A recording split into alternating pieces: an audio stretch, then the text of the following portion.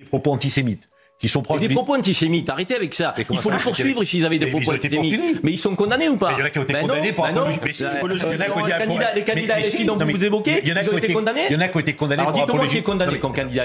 Allez-y. mais Karim. Karim Zeribi démasque un manipulateur anti-France insoumise en plein direct. L'ancien député européen Karim Zeribi était présent sur le plateau de CNews afin de débattre dans le cadre des élections législatives. Face à lui, l'ancien député pro-israélien François Pupponi qui accuse en plein direct des membres de la France insoumise d'être des antisémites. Des accusations mensongères et inacceptables selon l'ancien député européen Karim Zeribi qui, comme vous allez le voir, va rapidement mettre dos au mur le mythomane François tout à l'heure. C'est vrai que ce qui est dramatique sur l'ensemble de l'échiquier, c'est mhm. que on n'a pas le sentiment que les Français vont vers un vote d'adhésion. On n'a pas le sentiment. Et quelle que soit la famille politique, je veux dire, RN compris, vous pouvez raconter ce que vous voulez. Il y a aussi une forme de dégagisme de la Macronie euh, dans le vote RN.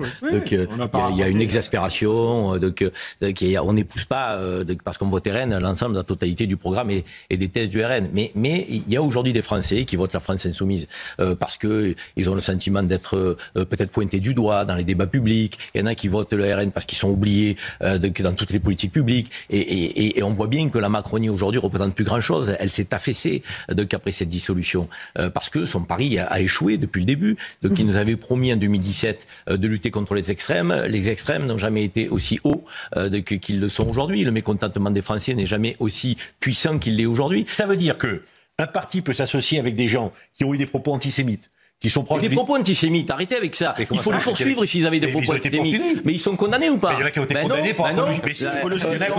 Les candidats LFI dont vous évoquez, ils ont été condamnés Il y en a qui ont été condamnés Alors dites-moi qui est condamné comme candidat LFI. Allez-y.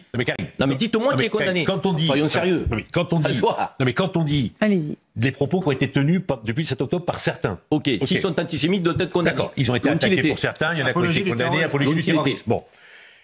Il a donc signé un accord de gouvernement avec ces gens-là. Il dit bon, euh, et les filles, j'en veux pas. Mais les associés des LFI, pourquoi pas? C'est là où ça c'est là où les Français. Mais parce que tu comprends bien que les cartes sont rebattues ah, et que LFI ne gouvernera pas le pays. Tu le sais. ne faites pas comme si vous ne le comprenez pas.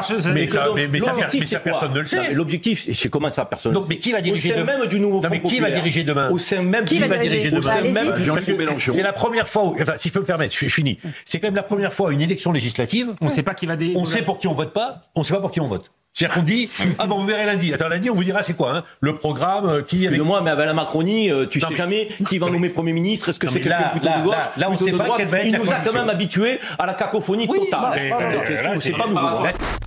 Et vous, que pensez-vous du recadrage de l'ancien député européen Karim Zeribi face au mythomane François Pupponi?